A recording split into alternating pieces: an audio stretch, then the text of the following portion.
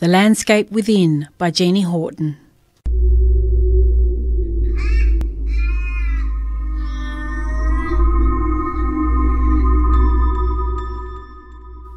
I stand and I bear and I stare, a sidelong, scathing glare. for I will wear these twigs.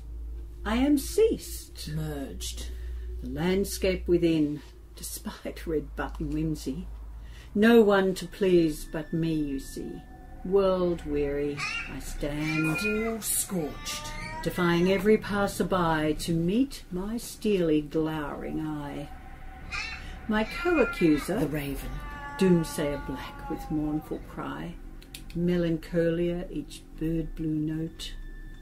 My carrion lover companion, hoards twigs and weeds, prickly pernickety, fashionably finicky adornment.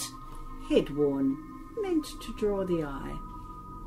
Do you like my hat? My crown, My crowning glory. my glorious crown of thorns, The twigs, bits of brittle, crisp branches of of, knowledge discarded, outmurdered, outgrown, wayside fallen from the trees of life. Flat earth, alchemy, phrenology, eugenics, terra nullius, trusting God, the law, bankers, lawyers, politicians, scientists, teachers, environmentalists. trust no one. My feathered crone places each out of step relic. Just so, Do you like my hat? my crown, My crowning glory, my glorious crown of thorns, worn on my head as women of the world have borne their load forever. Years long winter, My discontent. Our future hurled off the cliff Kaplunk! into an abyss where courage and truth lie blanketed in a crescenting avalanche of marketing spin, misinformation, and loudmouth economic dimness. Silence. Blind eyed, my bird, My liminal prophet. that cry, that sheen.